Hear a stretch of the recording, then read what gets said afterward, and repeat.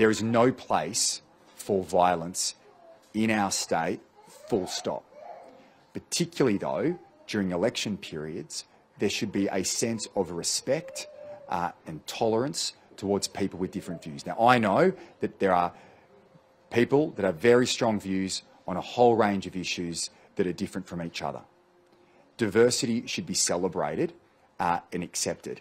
Um, and people should remember that ultimately we treat people with respect, uh, um, acknowledge everyone's inherent human dignity, their rights to their views.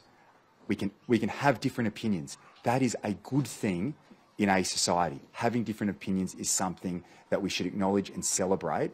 And I just ask people over the next few days, you might have views, others will have different ones. That's a good thing.